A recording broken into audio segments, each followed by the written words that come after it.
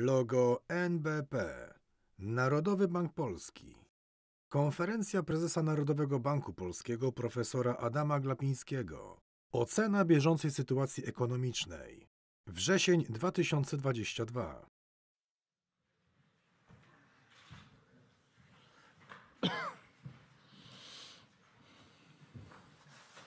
Witam wszystkich. Szanowni Państwo, wczoraj Rada Polityki Pieniężnej ponownie podwyższyła stopy procentowe NBP, tym razem o 25 punktów bazowych. Jak zawsze pozwólcie Państwo, że krótko przedstawię uwarunkowanie tej decyzji. Zacznę od tego, że przez ostatnie kwartały podejmowaliśmy jako Rada Polityki Pieniężnej decyzję o zacieśnieniu polityki pieniężnej w warunkach wysokiej inflacji, ale przy korzystnej lub bardzo korzystnej koniunkturze gospodarczej, która utrzymywała się mimo trwającej wojny za naszą wschodnią granicą. Obecnie inflacja nadal rośnie, choć znacznie wolniej niż dotychczas. Sytuacja w gospodarce jest nadal bardzo korzystna, ale widzimy coraz więcej sygnałów wyraźnego spowolnienia aktywności. Tu może taka uwaga, że w przestrzeni publicznej w większości mediów używane jest słowo kryzys w stosunku do sytuacji gospodarczej w Polsce. To jest absolutnie nieadekwatne, zarówno w języku potocznym, jak i w języku ekonomicznym. No, kryzys oznacza zupełnie co innego. Mamy cały czas do czynienia z bardzo szybkim wzrostem gospodarczym. Ten ostatni zanotowany 5,5% to jest bardzo szybki wzrost gospodarczy. Towarzyszy temu bardzo szybki wzrost wynagrodzeń, choć oczywiście jak mówimy o średnich, to zawsze to wszystkich nie dotyczy. No ale mamy niestety wysoką, uporczywą inflację. I to jest ten problem, z którym mamy do czynienia. No, ale tego w żaden sposób nie można nazwać kryzysem. I mam nadzieję, że tego kryzysu w Polsce nie będzie. Choć zapowiada się recesja w wielu krajach, w Polsce ona się nie zapowiada. No niemniej pomimo tego działamy w warunkach wysokiej inflacji i silnego spowolnienia aktywności. W gospodarkę europejską, a tym samym i w polską, uderzają silne szoki energetyczne, które tłumią wzrost gospodarczy. Bo przypomnę jeszcze raz cierpliwie, chociaż cały czas w przestrzeni publicznej się pojawiają inne określenia i sformułowania, ale cierpliwie będziemy to powtarzać. Problem inflacji przychodzi z zewnątrz. Nadal, chociaż te czynniki wewnętrzne przecież zostały uruchomione różne, co najmniej 3 czwarte inflacji pochodzi z zewnątrz, pochodzi z szoków energetycznych, z niezwykle wysokich podwyżek cen gazu, energii elektrycznej, ciepła itd. Tak w samym sierpniu, o ile pamiętam, w Niemczech, we Francji ceny gazu były odpowiednio 15 i 12% wyższe niż w sierpniu roku poprzedniego. Tak jest w całej Europie. Jak ma nie być inflacji w tej sytuacji? Jak są kilkunastokrotne wzrosty cen energii, przede wszystkim gazu. W ostatnim okresie, jak Państwo wiedzą, ropa naftowa trochę staniała, choć nadal jest droga, ale nie dotyczy to ani gazu, ani elektryczności. Tu cały czas mamy e, wzrosty. Natomiast zdarzają się ekonomiści, programy publicystyczne, ekonomiczne, już nie mówiąc o politykach, którzy pożal się Boże 15,5 godziny potrafią, 15 minut, pół godziny potrafią mówić o inflacji, nie używając w ogóle słowa szok energetyczny, podwyżki cen gazu, wojna na Ukrainie i tak dalej. A przyczyn inflacji widzą na przykład wyłącznie w Adamie Glapińskim. Są tacy. Z pozoru inteligentni ludzie. Te, dzisiaj słyszałem w radio na przykład przed godziną pierwszą Pawła Kowała, jest taki poseł, Pawła Kowala jest taki poseł,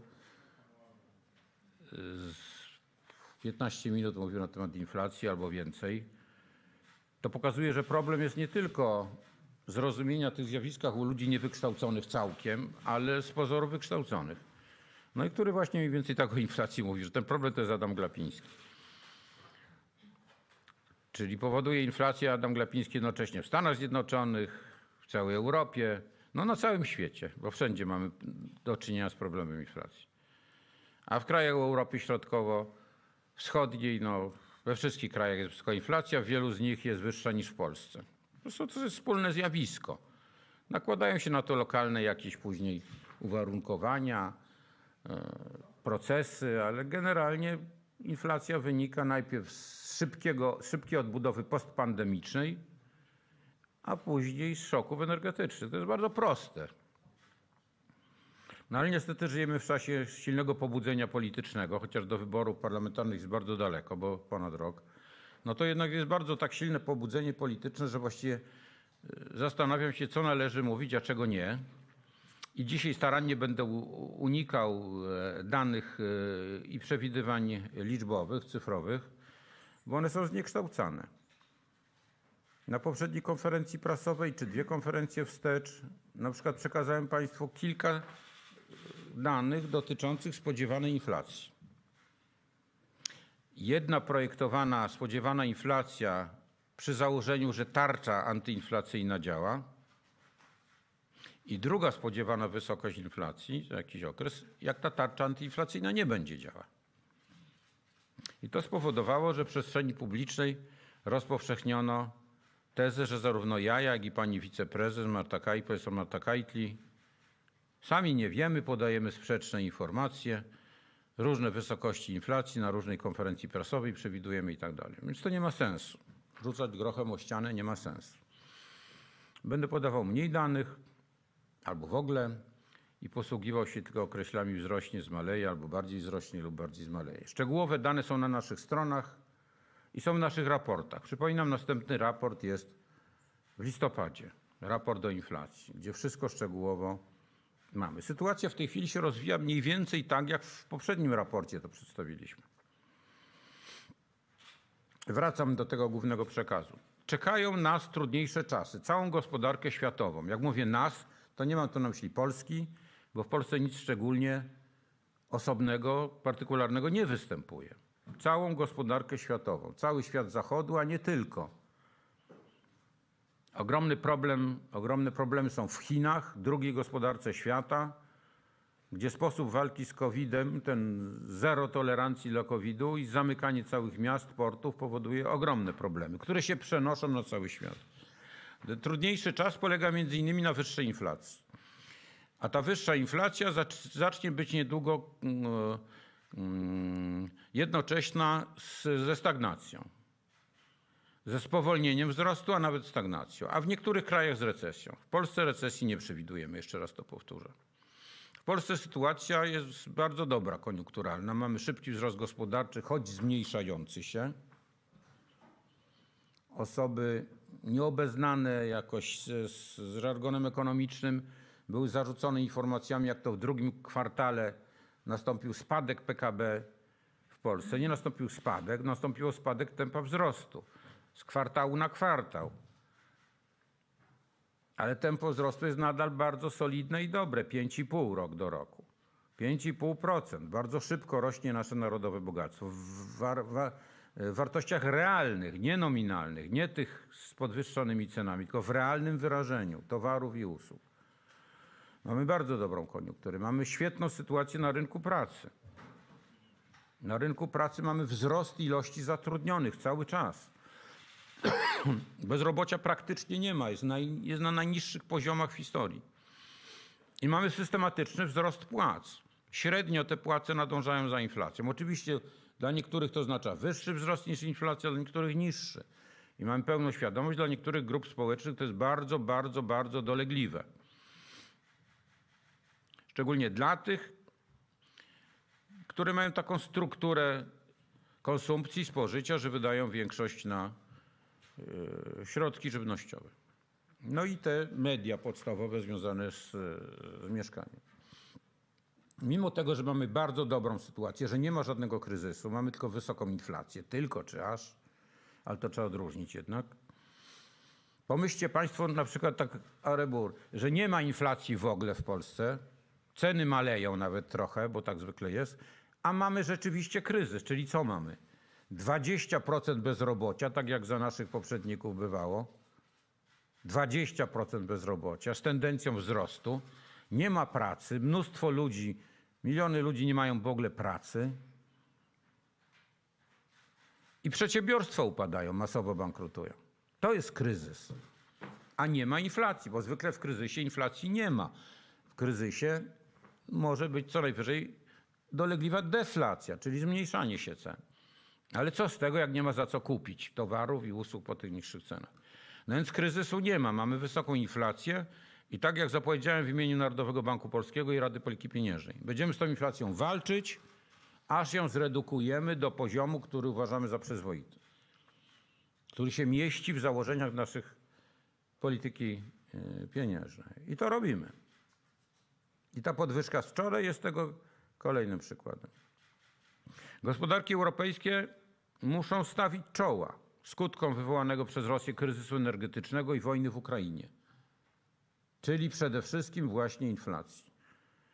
Kryzys energetyczny jest narzędziem wojny prowadzonej przez Rosję przeciwko Europie, Europie Zachodniej, a w szczególności Polsce, bo my mamy akurat taką strukturę energetyczną. Musimy wytrwać w tej wojnie i musimy tę wojnę wygrać. W sierpniu mieliśmy kolejny wzrost cen gazu w całej Europie, a także wzrost kontraktów na energię elektryczną. Kontrakty na energię elektryczną, jak już mówiłem, kilkunastokrotnie wzrosły. Europejskie, to jest rynek europejski. Niektórzy politycy, nie powiem jacy, rzucają jakieś hasło o zamrożeniu cen energii elektrycznej, gazu, czegoś tam. My jesteśmy y, członkiem Unii Europejskiej i uczestniczymy we wspólnym rynku. Mamy wspólny rynek energii elektrycznej, wspólny rynek gazu i tak dalej. Możemy stosować jakieś osłony w stosunku do wszystkich grup społecznych lub do poszczególnych grup społecznych, czy działów gałęzi i tak dalej. Ale nie możemy blokować cen surowców energetycznych. Korzystne w tym jest to, że krajom Unii Europejskiej, tym, które nie miały zapasów gazu, udało się przed całkowitym zatrzymaniem przesyłu przez Nord Stream, przez Rosję, uzupełnić te zapasy i mają wysoki poziom zapełnienia magazynów gazu. W całej Europie mniej więcej tak jest. W Polsce, jak to już było wcześniej informowane, jak wcześniej informowaliśmy, magazyny są praktycznie pełne i to przed powstaniem kryzysu, bo zdawaliśmy sobie sprawę, że Rosja może się posunąć do takich agresywnych działań od samego początku. Zawsze byliśmy przeciwnikiem budowy Nord Stream, jak Państwo wiedzą, bo wiemy i wiedzieliśmy, czym to się może skończyć. To jest kraj agresywny, imperialistyczny, który chce odbudować dawny Związek Sowiecki. A dawny, odbudowa dawnego Związku Sowieckiego oznacza też odbudowę krajów podporządkowanych, takich jak Polska, która mają być takim satelitą po prostu. Pozornie jest samodzielny, ale premier, minister obrony, finansów jest ustalany z Moskwą. A my jesteśmy dumnym krajem, dumnych Polaków, którzy nie chcą ustalać ani premiera, ani ministra oświaty, ani ministra finansów i obrony, ani z Moskwą, ani z żadną inną stolicą. Chcemy sami w demokratycznych wyborach wybierać swoje, swoje władze. Niestety ceny gazu na rynkach hurtowych pozostaną bardzo wysokie. To się szybko nie zmieni. Przez wiele lat. One podlegają w dodatku silnym wahaniom wraz z droższą energią elektryczną. To bardzo negatywny czynnik, bardzo ważny.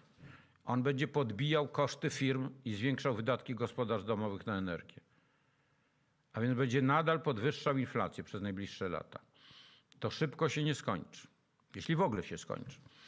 Być może musimy się przyzwyczaić do tego, jako gospodarka, że te ceny będą trwale wyższe i przestawić gospodarkę na jakieś inne e, systemy funkcjonowania, w których to będzie akomodowane.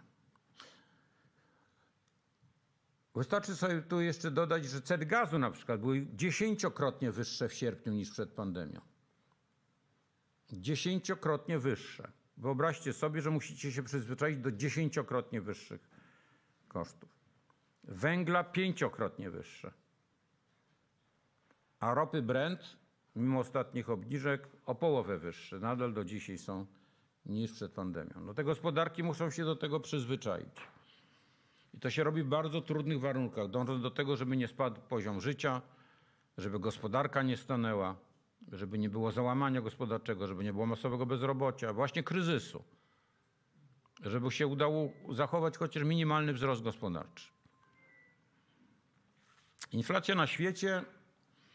No z jednej strony mamy sygnały sugerujące pewne łagodzenie presji kosztowej, wynikające przykład z zaburzeń w globalnych sieciach dostaw. Tanieją trochę frachty morskie, dostawy, transport międzynarodowy trochę potaniał, chociaż nadal jest oczywiście o wiele, wiele wyższy niż przez pandemiczny. No z drugiej strony inflacja we wszystkich krajach jest na wysokim poziomie, w wielu krajach wciąż rośnie. Nic się tu nie odwróciło na razie w tych trendach. A oprócz wspomnianych szoków energetycznych wynika to także w dużym stopniu z przenoszenia przez firmy, przez przedsiębiorstwa wyższych kosztów na ceny produktów i usług, które sprzedają. Dlatego rośnie też tak zwana inflacja bazowa w miarę upływu czasu. Po wyłączeniu cen żywności i energii. Tutaj ta inflacja po ce, cen energii i żywności nadal się podnosi, ponieważ już minęło odpowiednio dużo czasu i firmy przenoszą te swoje wyższe koszty na sprzedawane produkty. W strefie euro według wstępnego szacunku w sierpniu inflacja wzrosła do 9,1%, a inflacja bazowa do 5,5%. To są najwyższe wskaźniki od powstania strefy euro. Natomiast w naszym regionie centralnej Europy czy środkowej Europy, we wszystkich krajach naszego regionu inflacja jest kilkunastoprocentowa, dwucyfrowa, a w krajach bałtyckich, które posiadają euro, przekracza 20%. W tych krajach sytuacja szczególnie jest trudna, no bo są w strefie euro, mają bardzo niskie stopy procentowe, a jednocześnie inflację powyżej 20%. Muszą jakoś tym wytrwać, przeczekać. Nie mają własnej polityki pieniężnej. W tej sytuacji główne banki centralne Europy i świata nadal zacieśniają politykę pieniężną. Rezerwa Federalna w Stanach Zjednoczonych sukcesywnie podwyższa stopy procentowe, a w ostatnich miesiącach do grona tych banków dołączył wreszcie Europejski Bank Centralny. Właśnie jak mam tą konferencję prasową z Państwem dzisiaj, to 15 minut wcześniej zaczęła się konferencja prasowa Europejskiego Banku Centralnego. Za minutę zacznie się, nie, która jest godzina teraz? No minu, 5 minut temu zaczęła się konferencja prasowa e, Jeroma Powella, prezesa, guvernera Banku Amerykańskiego. No i wszędzie na pewno to w tym samym kierunku idzie, zacieśniania, czyli podwyższania stóp procentowych. No w naszej perspektywy, proszę Państwa, ważne jest, by zacieśnienie monetarne w głównych gospodarkach świata przyniosło ograniczenie globalnej presji cenowej. To ona decyduje o poziomie inflacji. Działania w mniejszych krajach, takich jak Polska, oczywiście nie mają wpływu na globalną inflację, ale w tych wielkich krajach czy grupach państw w strefie euro, no to ma wpływ. Jeśli tam inflacja będzie maleć, to będzie maleć i u nas. My nie wpływamy na globalny popyt, a tym samym nie wpływamy na ceny surowców. A więc nie możemy obniżyć zewnętrznej presji inflacyjnej. Jak następuje zacieśnianie w Ameryce, w Stanach Zjednoczonych i w całej Europie, to koniunktura się pogarsza, tempo wzrostu gospodarczego maleje, co jest normalne i spada zapotrzebowanie na surowce energetyczne, na gaz, na benzynę, na wszelkiego rodzaju benzyny, na energię elektryczną. I tym samym maleją ceny tych produktów. Powinny przynajmniej, bo jeszcze mamy coś takiego jak zmowy cenowe, mamy coś takiego jak OPEC, mamy politykę Rosji, wymykające się regułom rynkowym i tak dalej. Rosjanie wolą palić na przykład gaz niż go sprzedawać, żeby utrzymać ceny. No to są takie rzeczy, które trzeba brać pod uwagę.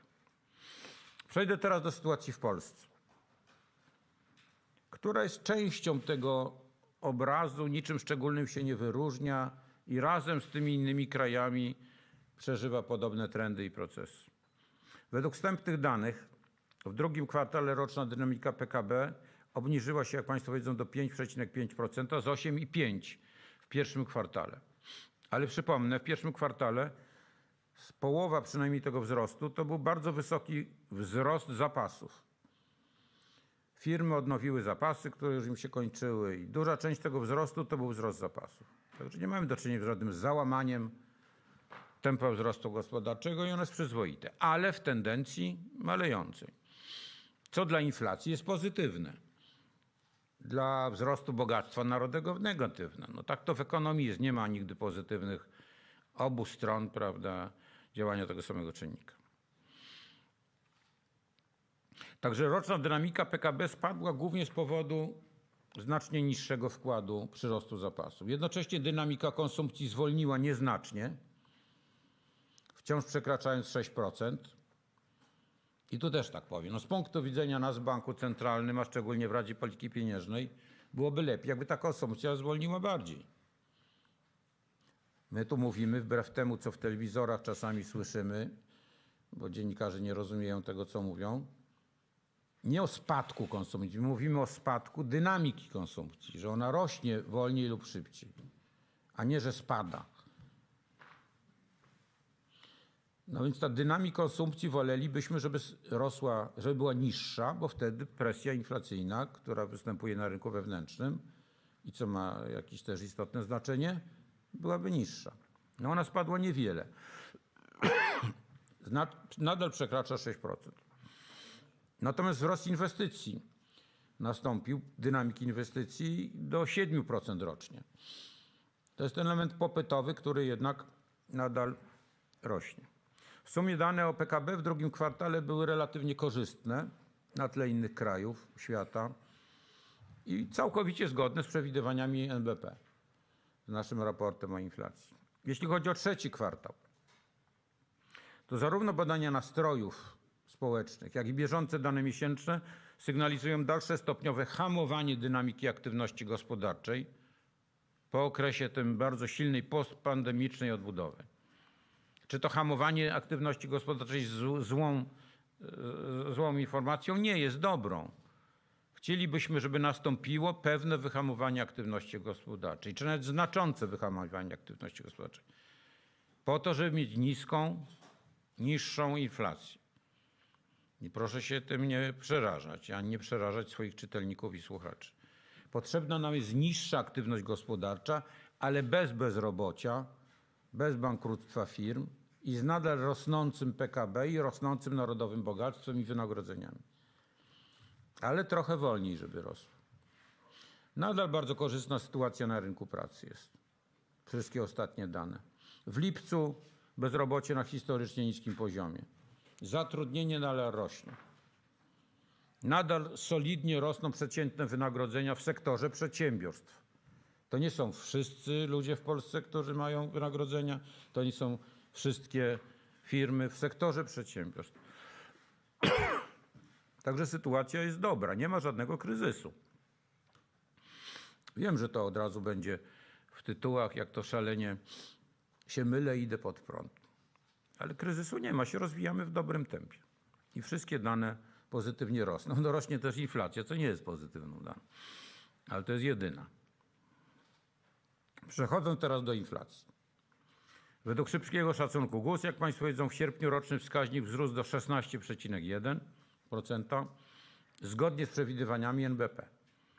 Chociaż całkowicie przeciwnie do przewidywań wszystkich innych obserwatorów rynku, czy prawie wszystkich. Inflacja wciąż jest silnie podbijana przez czynniki zewnętrzne, o tym mówiłem, zwłaszcza w cenach energii i żywności to widać. Jakbyśmy wyeliminowali, proszę Państwa, e, dynamikę cen żywności i energii, to mielibyśmy o wiele, wiele niższą inflację. Jakieś 7% niższą. To pokazuje jakby skalę, gdzie my się poruszamy.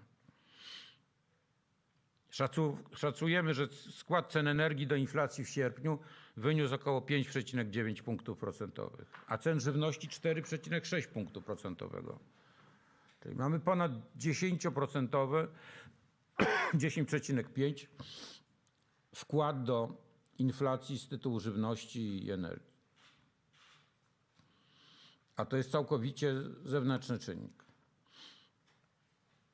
Widzimy, że mielibyśmy inflację jednocyfrową i na poziomie no, zawyżonym, ale nie budzącym jakiegoś, e, jakiegoś lęku, ale podlegającym działaniu polityki pieniężnej, aby wrócić do celu inflacyjnego.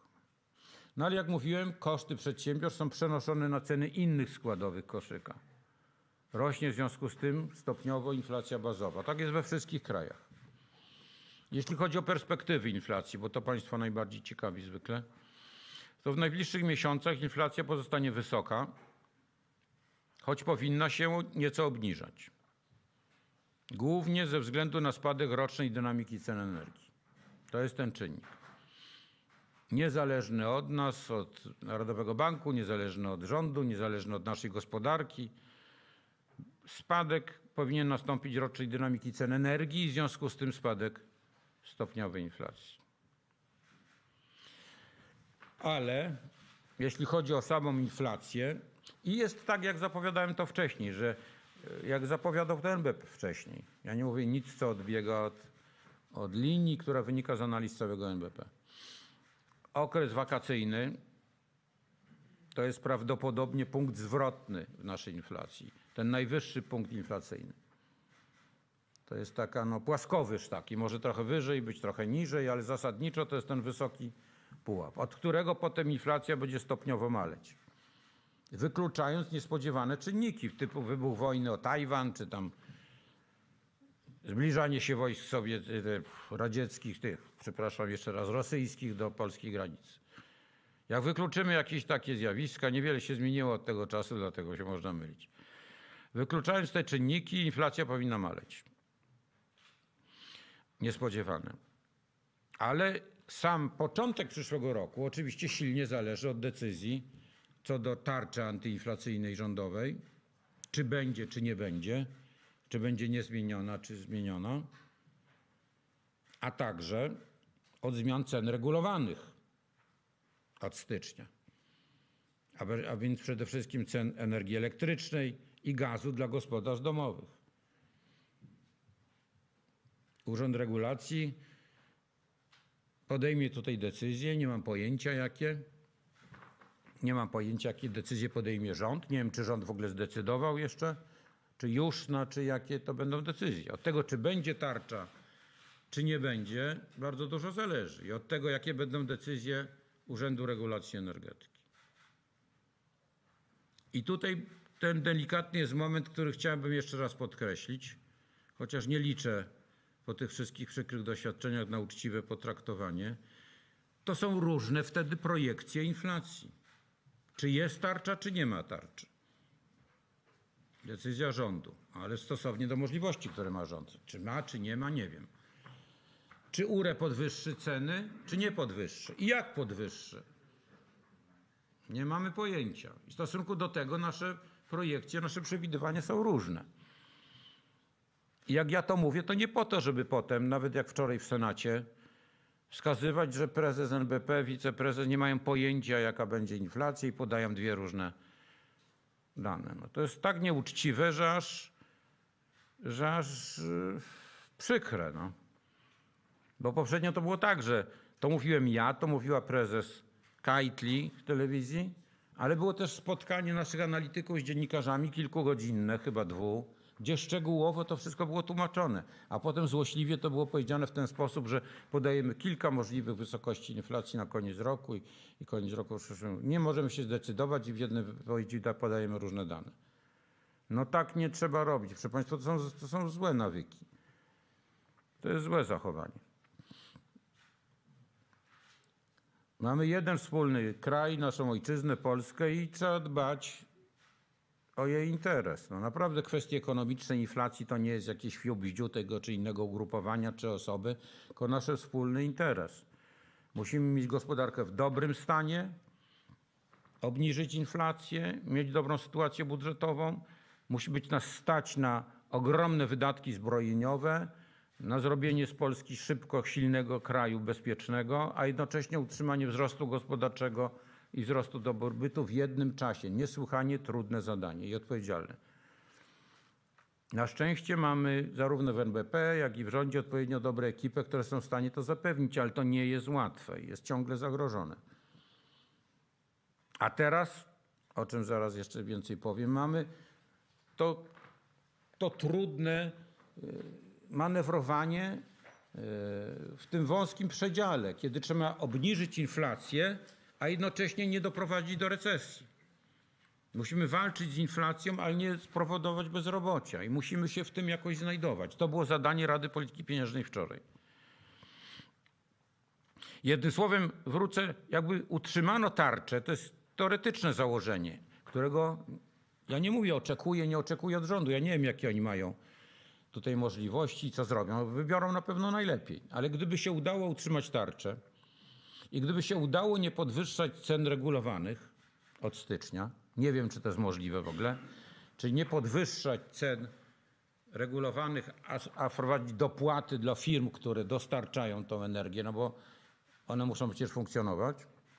Gdyby to było możliwe, teoretycznie mówię, abstrakcyjnie, jeszcze raz to powtórzę, to inflacja byłaby niższa o 7%. 7 punktów procentowych w przyszłym roku. Widzieliście, jaka to jest różnica? O 7 punktów procentowych. I w tych warunkach, ale tylko w tych warunkach, jeszcze raz powtórzę, mam nadzieję, że zdanie nie będzie cięte e, bezczelnie na kilka kawałków. I w tych warunkach, gdyby była tarcza utrzymana i nie było podwyżki cen regulowanych, to inflacja na koniec roku przyszłego zeszłaby w pobliże 3%. Byśmy się cieszyli wszyscy, prawda? Mam nadzieję, że wszyscy. Chociaż widzę, że są tacy, którzy życzą jak najgorzej naszej, naszej ojczyźnie i naszej gospodarce. Gdyby udało się utrzymać tarczę, gdyby się udało nie podwyższać cen regulowanych, to inflacja w przyszłym roku zejdzie na koniec roku w pobliże 3%. Czyli znajdzie się w naszym celu inflacyjnym plus minus ta, ta, ta, ta, ta, ta strefa wokół, wokół celu. Traktujemy cel razem. To jest 2,5 plus minus 1. Ale gdyby, najprawdopodobniej nie jest to możliwe. Przynajmniej jedno z tych dwóch rzeczy nie jest możliwe. To są ogromne sumy, które trzeba by znaleźć. A jednocześnie trzeba znaleźć ogromne sumy na inne cele rozwojowe, zbrojeniowe, no utrzymanie i wzrost poziomu życia i tak dalej. Tą osłonę socjalną, którą się udało w ostatnich latach stworzyć, żeby zapewnić godne życie Polakom. Ale gdyby to mielibyśmy około 3%, to Państwu pokazuje, w jakim punkcie się znajdujemy. W tym punkcie przegięcia. Zakładamy, że nie ma tam tych wojennych przypadków, że tam Rosja coś nie wymyśli nowego i tak dalej, i tak dalej. Tego Tajwanu nie ma i, i wszystkich jakichś innych pandemii możliwych. Czyli tak można zobaczyć to światło w tunelu. No jeśli nie będzie tarczy, jeśli, nie będzie, jeśli te ceny regulowane wzrosną, no nie wiem o ile, no to na pewno będzie o te 7% więcej, czyli będzie 10 czy powyżej 10, czyli dwucyfrowa inflacja nadal. Ale tak myślę intuicyjnie już, chociaż to kobiety by się bardziej mogły wypowiedzieć, mają lepszą intuicję. No, że ta inflacja będzie jednocyfrowa i będzie niższa. Znaczy, że ceny regulowane się podniosą, ale nie jakoś tak strasznie. Tarcza w jakiejś wersji będzie utrzymana. No i zejdziemy z tą inflacją do jednocyfrowej i takiej, której już się tak nie boimy. 6, 5. Nadal będziemy ją zwalczać oczywiście. A może będzie lepiej. No gdyby było 3%, to oczywiście było świetnie i w miarę tego, jak będziemy schodzić z tą inflacją, pojawia się oczywiście przestrzeń do obniżenia stóp procentowych. Uprzedzam pytania, które zwykle są. Jak ta inflacja będzie szybko schodzić z tego poziomu, co mamy, 16%, do tego poziomu jednocyfrowego, starczą i i bez cen regulowanych podwyższonych do 3, a z cenami regulowanymi powiedzmy 6-7, jak ta będzie schodzić, to będzie przestrzeń do obniżenia stóp, bo nie będziemy chcieli dalej tego cisnąć gospodarki aż tak mocno, bo nie będzie potrzeby. Proszę pamiętać, że te stopy, co my podnosiliśmy przez ostatnie 11 miesięcy, łącznie z wczorajszą, one cały czas działają. Państwo sobie spokojnie tu siedzicie i stoicie, ja też sobie spokojnie stoję, a to cały czas działa, to cały czas działa. To jest taki korek, to jest taka śruba dokręcona w gospodarkę, która obniża jej aktywność. Niestety zastopowała udzielanie dalszych kredytów hipotecznych, niestety ograniczała branie innych kredytów i udzielanie konsumpcyjnych. No niestety, ale taki to jest mechanizm. To jest tak, jakbyśmy jechali gdzieś samochodem, rozpędzili się bardzo, Jedziemy autostradą polską 160 na godzinę, zbliżamy się szybko do jakiegoś punktu docelowego i zatrzymuje nas policja, bo my mieliśmy zepsuty licznik i mówi, proszę pana, pan jedzie 160, 170, wymierza mandat, który oczywiście płacimy, no i obniżamy tą prędkość. To jest to, co nam jest teraz potrzebne. Obniżamy z tych 160 do 120. Tyle chyba jest dozwolone. Nadal się posuwamy do przodu, ale wolniej i tam później docieramy do celu. To nam jest potrzebne w tej chwili. Dlatego te kredyty, przecież nie na zawsze. Takie wielkie larum niektórzy w mediach, politycy, a niestety i publicyści, którzy powinni być rozsądniejsi, znaczy nie muszą przecież kłamać i tworzyć jakiejś takiej atmosfery tragicznej, katastrofy, że zatrzymano te kredyty. Przecież nie na zawsze, przecież na, na krótko. Jeśli w ostatnim kwartale przyszłego roku, a może wcześniej, zaczniemy obniżać stopy, znów będzie więcej kredytów udzielanych i będą tańsze, i spłaty będą niższe. To jest takie, jakby coś nagle się stało i już na zawsze będzie źle. Ktoś wziął kredyt, jak było 0,1 stopy procentowe banku centralnego, teraz ma 6,75, ale to też nie jest na zawsze. Czy możemy w nieskończoność powtarzać kolejnym pokoleniom Polaków, że zjawiska w gospodarce mają charakter zmienny? Jak coś rośnie, to potem maleje, jak maleje, to rośnie. No tak to jest. Nie jak z człowiekiem, że się starzeje w jednym kierunku. Niestety. Fajnie byłoby dochodzić do tam 80 roku i znów z powrotem.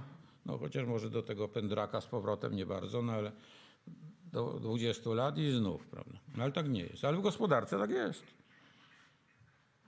A być może doszliśmy do 6,75 i za pół roku, czy za 3 czwarte roku znów będziemy schodzić i zejdziemy do jakiegoś poziomu 4, 4,5 na przykład.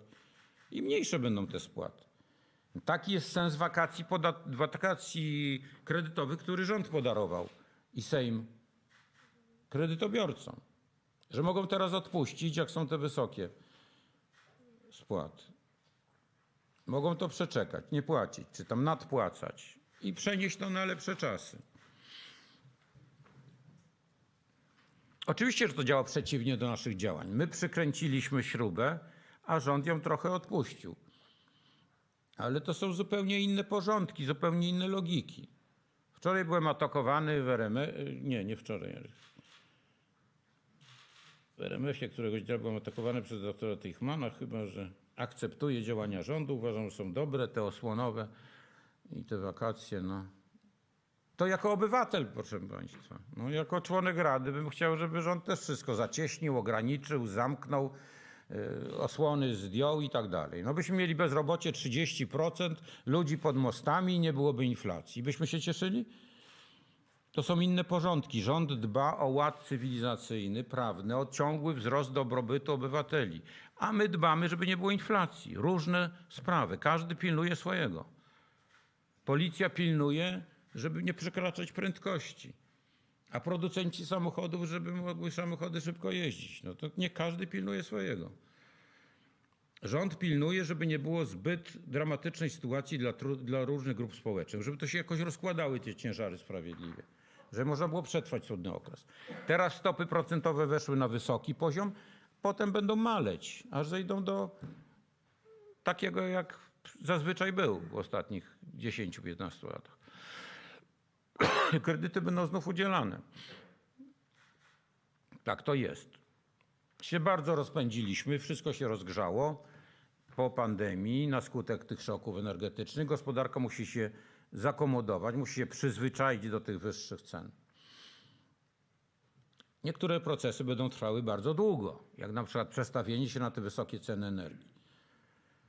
A przy tym wariactwie w Unii Europejskiej dotyczącej tej walki z naturą, yy, z tym, z, tym, z tym ociepleniem klimatu, dwutlenkiem węgla i co tam jeszcze się wymyśli, no to cała Europa zostanie w tyle za resztą świata, który będzie miał tańsze źródła energii. No to jest nieuniknione.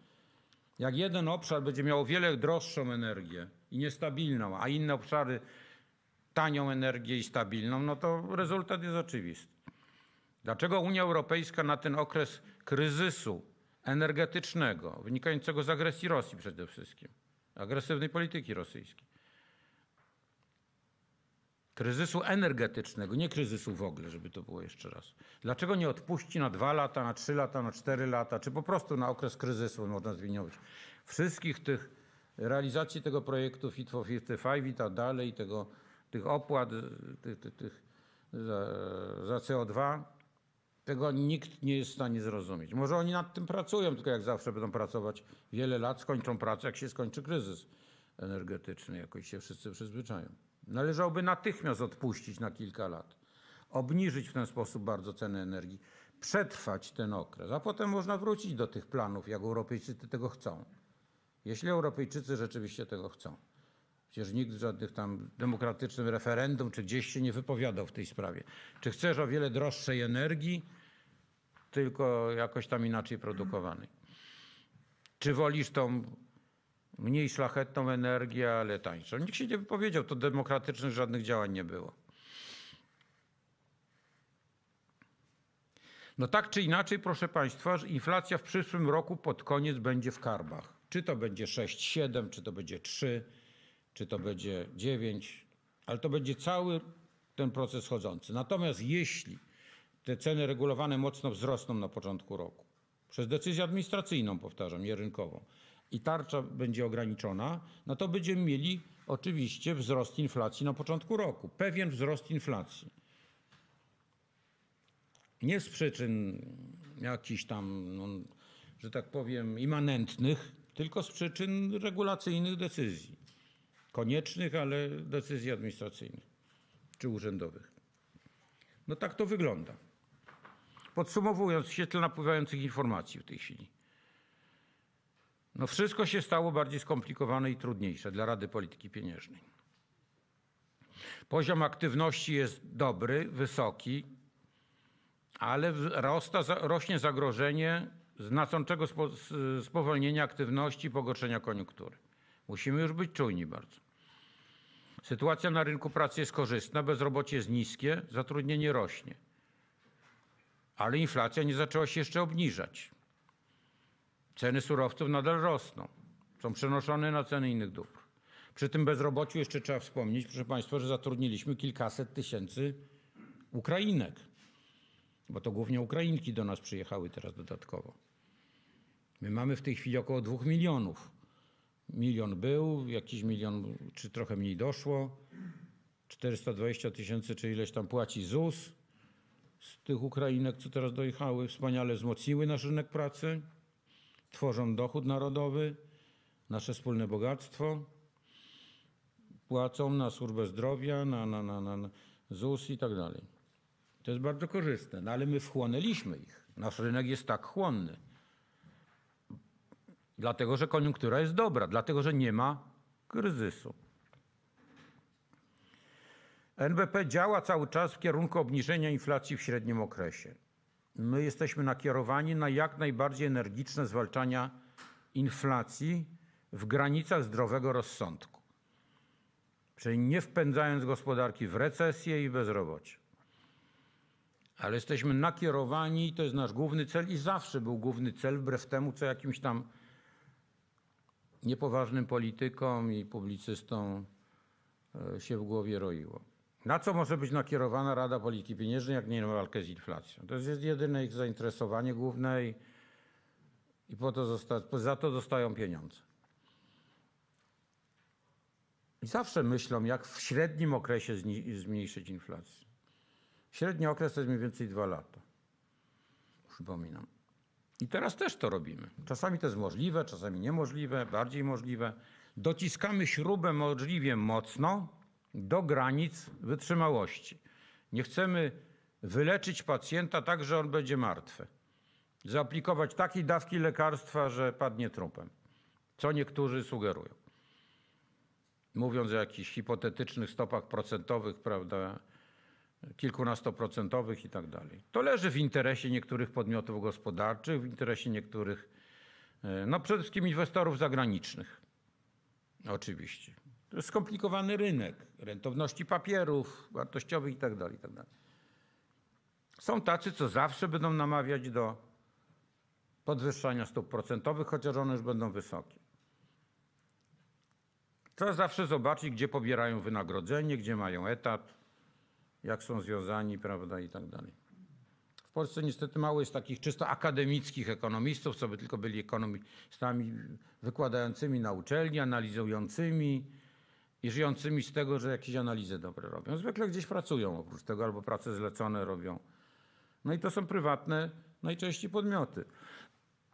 Często inwestorzy zagraniczni. Nikogo nie obrażam. No tak to jest, tak jest życie po prostu. Tak to wygląda. Narodowy Bank Polski jest tą instytucją, którą stworzył naród, państwo, społeczeństwo, żeby mieć niezależny organ, który właśnie w imieniu społeczeństwa i dobra narodowego może się wypowiadać, badać i analizować. Właściwie jedynym jest takim niezależnym e, ciałem.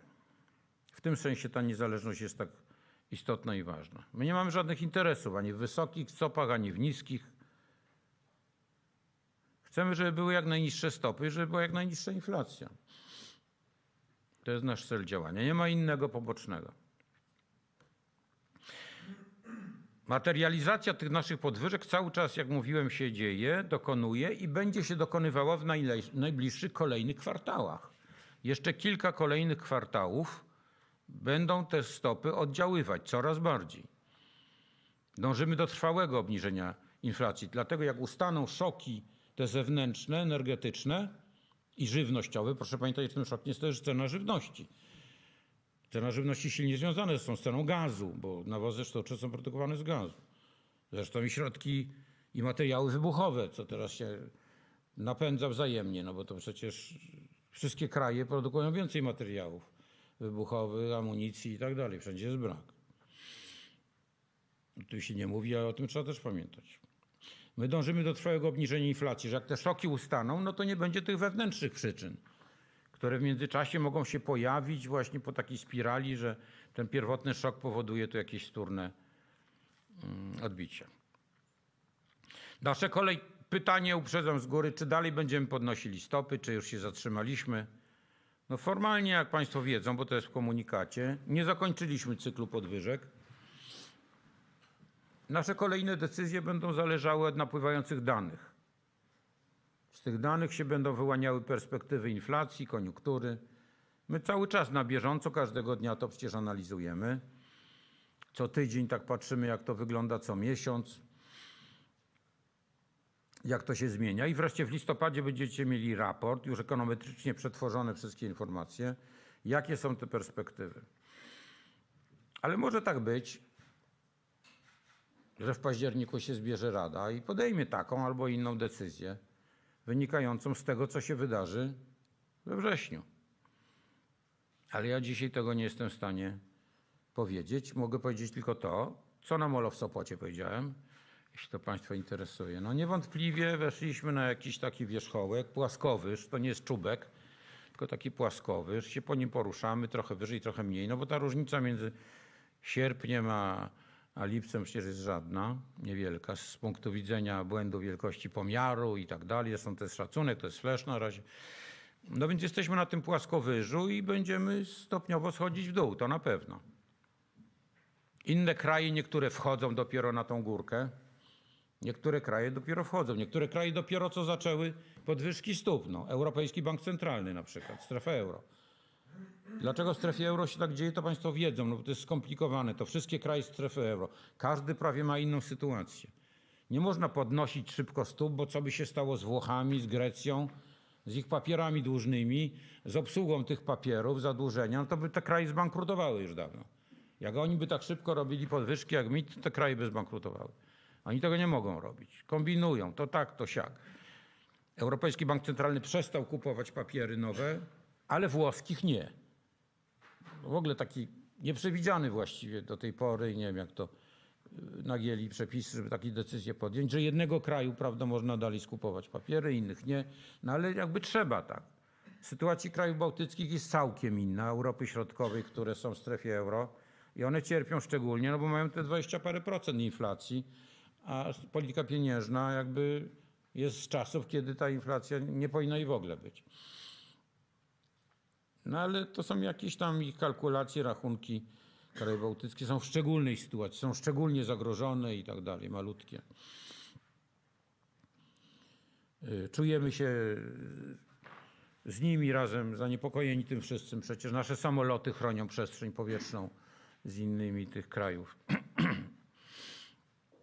Bo to może być tak, jak kiedyś nasz prezydent Lech Kaczyński powiedział właśnie Ukraina, kraje bałtyckie, a potem może y, Polska. Taka kolejność jest niby logiczna, chociaż niestety może się zmienić kolejność tutaj. Trudno jest wszystko przewidzieć. Ale my w międzyczasie, w ciągu dwóch, trzech lat będziemy mieli już siły zbrojne, które na to nie pozwolą. Nie pozwolą na myślenie o tym, tak bym powiedział. Może czterech. Ale od przyszłego roku to będzie szybko narastać. Zmierzamy do tego, że mieć drugą co do siły armię w Europie i to super nowocześnie wyposażoną. Stać nas na to, damy radę. Polska jest zupełnie innym krajem niż 10 czy 15 lat temu. O czym się Polaków niedostatecznie informuje. Polacy się nie cieszą w ogóle z sukcesu gospodarczego, jaki osiągnęli. To jest w ogóle jakieś szaleństwo. My tu w banku nie możemy się nad tym nadziwić. Ja wielokrotnie publikowałem wykresy, jakieś informacje na ten temat. Jakiego cudu gospodarczego Polska dokonała w ostatnich kilkudziesięciu latach? Jaki to jest skok? Na co my możemy sobie dzisiaj pozwalać jako państwa, czego, co było niemożliwe? Są chwilowe niedogodności. No, przyjmujemy ten cały kryzys energetyczny, przecież sobie dajemy radę. 10-15 lat temu no to byłoby pozamiatane wszystko. Wszystko byśmy mieli naraz, wszystkie możliwe nieszczęścia. Teraz jakoś trwamy, już się wydobywamy, już widać, jak mówiłem, światło w tunelu. Ze strony NBP mogę powiedzieć, być może połowa roku, koniec, ostatni kwartał przyszłego roku będziemy obniżać stopy. To będzie oznaczało, że już przezwyciężamy jakby te problemy, za które my jesteśmy odpowiedzialni. To jest realne i to każdy, kto spojrzy na dane, przecież potwierdzi. No i jesteśmy w stanie dokonać też tego wy- wysiłku zbrojeniowego. Musimy jednocześnie rozpocząć budowę przecież elektrowni atomowych. Też nikt za nas tego nie zrobi. Też nas na to stać, ale to wszystko wymaga dużego wysiłku, dobrego zarządzania. Ale Polacy powinni być dumni z tego, co osiągnęli. Przeganiamy kolejne kraje zachodniej Europy co do poziomu produktu krajowego na głowę. Już prześcignęliśmy Grecję, Portugalię, zbliżamy się do Hiszpanii, zbliżamy się do Włoch. No niestety także dlatego, że tam te kraje często w dół obniżyły te, te poziomy. No ale czy tak czy tak idziemy do tej pierwszej grupy, do głównego stołu. Jeszcze raz powtórzę to, co ostatnio mówiłem, bo wydaje mi się, że jakoś dobrze przemawia do wyobraźni. Jeśli się utrzymają dotychczasowe trendy, te, które do dzisiaj są, to za 8 lat mamy szansę osiągnąć 80% produktu krajowego brutto na głowę Francji. Zostawię Niemcy, no bo jeszcze są trochę bogatsze od Francji. 80%, czyli będziemy mieli 80% dobrobytu francuskiego, który co roku tam przybywa. No nie zasobów, bo oni mają zasoby ogromne. Nie mówiąc o tym, że nie byli zburzeni przez wojny, mieli kolonialne imperia, z których pozyskali ogromne bogactwa i tak dalej, i tak. Ale będziemy mieli 80%. Jest oczywiste, że za 8 lat będziemy siedzieć, być może to będzie 10, no, może 7, może 11, ale to jest ta, ta dekada, powiedzmy. Czy, czy komuś z Was, nawet młodym ludziom, widzę tu bardzo młode osoby, do głowy coś takiego przychodziło jeszcze 10 lat temu, a 8 lat, no to dla Pani, dla innych Pani, dla Pana, no to przecież jest szybko to się pojawi. Będziemy na poziomie mniej więcej francuskim. No nie emigruje się masowo z kraju, który ma o 20% niższe PKB na głowę i który się w dodatku dynamicznie rozwija. Tamten kraj raczej jest stagnacyjny ma ogromne problemy na przykład z imigracją, z bezpieczeństwem na ulicach. Potworne. Jak ktoś tak jak ja kocha Paryż i tam bywał systematycznie od kilkudziesięciu lat, no to widzi degradację absolutną tego miasta i jakość pobytu, spaceru, mieszkania i tak dalej. Apeluję do Polaków, żeby byli dumni z tego, co osiągnęli, byli pewni, że się wydobywamy z tego problemu, który jest i on nie jest taki wielki. Trzeba przetrwać. Mówię, połowa przyszłego roku, ostatni kwartał raczej z dużym prawdopodobieństwem będziemy obniżać stopy. Inflacja będzie przezwyciężona, będzie jednocyfrowa. Tempo wzrostu utrzyma nam się utrzymać dodatnie. Może być oczywiście spadek z kwartału na kwartał, ale to nie jest recesja. Recesji w Polsce nie przewidujemy. Taki rok do roku, że jest spadek produktu krajowego, zatrudnienia i tak dalej. Ale Rada Polityki Pieniężnej musi teraz, jak to się mówi, między Scylną i Charybdą, i Charybdą y, manewrować. Między działaniem antyinflacyjnym, a nie przedobrzeniem, nie zabiciem pacjenta, nie wprowadzeniem go w recesję. Moglibyście Państwo, tak jak tu siedzicie, wymienić nazwiska ekonomistów w Polsce, którzy oczywiście beztrosko by w tej chwili zrobili takie stopy procentowe, tak by zacieśnili, żeby chodzić e, w orderach za rok, że stłamili inflację, ale byśmy mieli rzesze bezrobotnych, dezorganizację społeczną, upadek wielu e, gałęzi przemysłu. No są tacy być może, ale inflacji by nie było, prawda? No przecież nie o to chodzi. I jeszcze kurs złotego na koniec, proszę Państwa, bo ciągle to jest publicznie podnoszone. Ten kurs, ten kurs. Kurs złotego jest oczywiście ważny, ale my mamy wolny kurs. Przyjęliśmy, i to jest bardzo słuszne i korzystne, że złoty się kształtuje swobodnie na rynku, jego wartość, jego siła nabywcza. Jego wahania siły nabywczej są tym, co właśnie jest immanentną cechą tego mechanizmu. My wahania koniunktury światowej, to co w nas uderza, przyjmujemy w ten sposób, że się zmienia kurs złotego, a nie zmienia się zatrudnienie, nie robi się bezrobocie, czy kryzys, czy recesja. Właśnie kurs się zmienia. Tak przyjmujemy. To jest taki zderzak, jak jest w pociągu w wagonach, że się zderzają i się wciska taki zderzak, prawda? I potem się z powrotem cofa. No to złoty właśnie słabnie się wzmacnia. Na tym to polega, z tego mamy korzyść. To, to jest główna korzyść, a nie ta nawet, że tam, że kurs niższy, no to jest korzystniejszy wtedy, konkurencyjniejszy bardziej eksport, pobudza eksport i tak dalej. To też działa, ale w dzisiejszych warunkach powiedzmy słabiej. Ale ten, ten zmiana kursu złotego nie jest niczym złym, to jest dobra właśnie cecha naszej gospodarki. Jakbyśmy mieli sztywny kurs, byśmy wszystko przyjmowali na siebie, całe uderzenie i to by na przykład bezrobocie falowało. No, przecież chyba nikt by tego nie chciał. Nie wszystkie kraje stać na to, żeby mieć wolny kurs waluty. Tych małych krajów nie stać. My mamy odpowiednio dużą gospodarkę, jak do tej pory nas na to stać. Natężają się ataki na złotego, natężają się ataki, żeby wprowadzić nas do strefy euro, ale one nie mają nic wspólnego z argumentacją finansową czy ekonomiczną. To jest czysto polityczny presja. I o niej nie będę dzisiaj mówił, bo nie chcę w ogóle dać się ściągnąć na tą ścieżkę. Powiedziałem, co chciałem w kilku wywiadach. Pozostaje to w mocy, ale już nie będę do tego wracał. Wejście nas do strefy euro oznacza po prostu, że schodzimy z tempem wzrostu do poziomu krajów bogatszych od nas, jak Francja, Niemcy i tak dalej. To nie oznacza, że, że w ogóle nie rośniemy. Rośniemy, ale tam bardzo wolno, a czasami w ogóle. Te kraje są tak bogate, że to może nie ma większego znaczenia. Ale my już zawsze byśmy byli ci biedniejsi o połowę, czy o jedną trzecią, czy o prawie połowę a my chcemy dojść do głównego stołu, być jednym z głównych trzech, czterech krajów Unii Europejskiej, które rozmawiają na wszystkie poważne tematy. Uczestniczyć w przekształcaniu, w transformacji Unii Europejskiej, ale jako współdecydujący, a nie tak jak teraz jesteśmy spychani do kąta do wykonywania poleceń. Coraz bardziej narastającym zniecierpliwieniem z innej strony, że nie wykonujemy poleceń tak szybko i tak bezwzględnie, jak oni się spodziewają. Tak bezczelnego wtrącania się w wewnętrzne sprawy polskie przez obce państwo nie mieliśmy od dawna do czynienia. No od czasu, jak wojska rosyjskie stąd wyszły.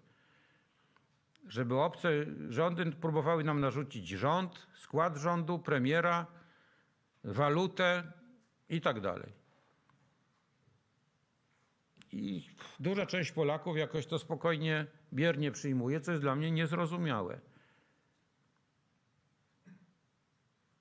to jest patrzenie na jakieś lekceważące na, na, na własnych ojców, dziadów i tak dalej, którzy zawsze chcieli samodzielnej Polski. I to jest tak, jak jesteśmy o krok od, zasięg, zaś, yy, od yy, zajęcia miejsc przy głównym stole. O krok. No bo to jest, mówię, 8 lat być może. I w tej końcówce nas właśnie atakują, żebyśmy do tego nie doszli. Do silnej armii i wysokiego PKB na głowę i konsumpcji. Już wtedy nikt nas nie odepchnie od tego głównego stołu. I w tym momencie się nas atakuje. To jest oczywiście głupie i fałszywe porównanie, bo w historii nie ma dobrych porównań, ale tak mi cały czas chodzi po głowie. No w Konstytucji 3 maja była po raz pierwszy armia przewidziana 100 tysięczna z dobrym finansowaniem, z podatków jakby i, i tak dalej. I w tym momencie kraje ościenne utrupiły tą Rzeczpospolitą. Bo za 2-3 lata już by tego nie mogły zrobić. Teraz jesteśmy o krok od wybicia się na taką mocną pozycję dobrobytu i niezależności, poczucia bezpieczeństwa.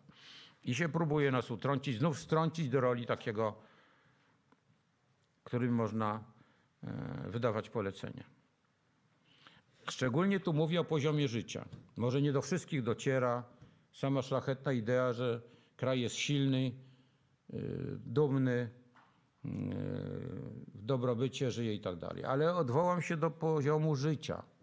Jeśli zrezygnujemy ze złotego, to poziom życia w Polsce będzie rósł wolno. Nasze budżety domowe będą rosły wolno. Poziom konsumpcji porównywalny z Niemcami, Francją, Holandią, czy tam jak oni się teraz nazywają, Niderlandy, będzie blisko się, będzie daleko od nas i zawsze będzie od nas daleko. Natomiast jak utrzymamy złotego, mamy szansę, że za 8-10 lat będziemy na tym poziomie co oni. Naprawdę niewiele trzeba jeszcze wytrwać. No, apeluję tu do młodych ludzi. Przecież oni będą rządzić Polsce i oni będą z tego korzystać, a nie, a nie starsze pokolenia. I trzeba tylko wytrwać i wytrzymać no, ten, tą tam nawałę, która jakoś się przetacza. No i jeszcze raz apeluję, no nie używać, nie dać się wcisnąć w to, że jest w Polsce jakiś straszny kryzys, że wszystko się wali, że nic nie będzie, cukru nie będzie, czego tam, najpierw pietruszka, że jakoś strasznie drożała, potem cukier. Co tam jeszcze? Już nawet nie wiem. No teraz się straszy, że wungla, panie, nie będzie na zimę, wszyscy zmarzniemy. To są, proszę państwa, horrendalne idiotyzmy. Nic takiego w ogóle w perspektywie żadnej nie widać. Nic takiego nie grozi. Napędzanie jakby tego szaleństwa. I że zaraz będzie hiperinflacja 20, 25, 50%, Turcja i tak dalej. Inflacja w Turcji między innymi się wzięła z tego, że właśnie nie pozwolono prezesom banku centralnego spokojnie działać, tylko ich bez przerwy wymieniano, naciskano politycznie, mówiono, co mają robić. A to jest instytucja, bank centralny, która działa po prostu dla dobra sprawy. No. Nie ma żadnego interesu, ani nie jest na budżetowym, mm, jak to się mówi, mm, pa, słucham? Garnuszku. My nie żyjemy z pieniędzy budżetu. Często to jest podniesione kwestia wynagrodzeń i tak dalej. Nikt nam nic nie płaci. Jeśli to my płacimy czasami 10 miliardów do budżetu, ani grosza od podatnika nie bierzemy. I nasze wynagrodzenia nie zależą od, od, od tych rzeczy. My chcemy po prostu się tutaj wykazać. Na koniec dzisiejszej konferencji mam przyjemność e, poinformować Państwu, że Narodowy Bank Polski uruchomił dzisiaj, właśnie jakby w tej chwili, nowy projekt pod nazwą Akademia NBP. Od dawna się do tego przygotowywaliśmy. Obejmuje to cykl kursów z zakresu finansów i bankowości. Mamy ambicje, żeby to było na bardzo wysokim poziomie. E, Przygotowujemy, przygotowaliśmy ten kurs razem z Krajową Szkołą Administracji Publicznej, z KSAP-em, Finanse i Polityka Pieniężna i, i to wszystko. Ten kurs pierwszy jest krótki, ale oczywiście będzie dyplom uroczysty i mam nadzieję, że się będzie cieszył prestiżem. Będziemy zapraszać tam prezesów zagranicznych banków centralnych, laureatów Nagrody Nobla. No już w tym pierwszym kursie będzie wykładała pani Beata Jaworci, główna ekonomistka Europejskiego Banku Odbudowy i Rozwoju. W Londynie Robert Holzman, prezes y, y, Banku Centra- National Österreichische Banku z Austrii, członek Rady Prezesów Europejskiego Banku Centralnego. E, Nikołaj, prezes Sergiej Nikołajczyk, wiceprezes Narodowego Banku Ukrainy i David Marsz, współprzewodniczący Official Monetary of Financial Institutions z forum. Szczegółowe informacje znajdą Państwo na stronie internetowej. No, będziemy te kursy wydłużać i docelowo to będzie roczny kurs. Być może jeszcze współpracy z innymi ośrodkami akademickimi w Polsce, wybitnymi, no, który będzie naprawdę miał się czym pochwalić mam nadzieję, że ten dyplom będzie ceniony na rynku i będzie stwarzał dla absolwentów jakieś dobre perspektywy. Proszę o pytania. Bardzo dziękuję. Bardzo prosimy o pytania. Y, Pan redak- pani redaktor Oliasz, bardzo proszę. E, Dzień dobry panie prezesie. Renata Oliarz, agencja ISB News. E, Ja mam takie pytanie odnośnie e, października. Jaki jest możliwy scenariusz, jeśli chodzi o podwyżki, bo zakładał pan, że możliwa jest też podwyżka o 25 punktów bazowych. I tutaj chciałam wrócić e, do struktury PKB w drugim kwartale, gdzie pan wspominał, że ten że konsumpcja prywatna jest na dość dobrym poziomie, a z punktu widzenia Rady, no, lepiej by było, gdyby ta presja popytowa jednak może była już trochę słabsza. Znaczy, że rośnie Więc- nadal dość solidnie, bo powyżej 6%. Tak, tak, tak. Więc y, na ile to jest prawdopodobne, że jednak w No w październiku jest możliwy tak, proszę Państwa, no, w zależności od tego, co będziemy obserwować w gospodarce. Albo brak e, zmian poziomu stóp, albo wzrost o 25 punktów bazowych. Nad tym Rada się będzie zastanawiała. E, No nie mogę zdradzać oczywiście atmosfery i wypowiedzi z, wczorajszej Rady, no ale tak sądząc po wypowiedziach członków Rady, no tak się będą zastanawiać, czy 25, czy, czy 0. Y, Dziękuję bardzo. Pan redaktor Rafał Tuszyński, bardzo proszę. Oczywiście mówię o większości członkach Rady. Bo pamiętajcie Państwo, że Rada to jest 10 osób i decyduje większość. I w ogóle się liczy tylko większość. No to tak jak w parlamencie, że tak powiem. No. Zdanie mniejszości, nawet najbardziej jakiej ekstraordynaryjnej, no to, to jest istotne zdanie, ale liczy się zdanie większości. Bardzo proszę. E, Dzień dobry, Rafał Tuszyński, Polska Agencja Prasowa. E, Ja chciałbym się, chciałbym dopytać o ten scenariusz miękkiego lądowania, które Rada chce uzyskać, czyli nie- wejście w recesję i, e, i no, ze zbiciem i nie, nie, brak znaczącego wzrostu bezrobocia. No jest to zasadniczo różny scenariusz, który kreślą teraz prezesi największych banków centralnych, czy tutaj odnoszę się do przemówienia prezesa Powella w Jackson Hole, czy ostatniej być może jeszcze ważniejszej wypowiedzi członkini zarządu EBC Izabel Schnabel, która powiedziała, że EBC będzie podnosić stopy procentowe nawet jak strefa euro wejdzie w recesję.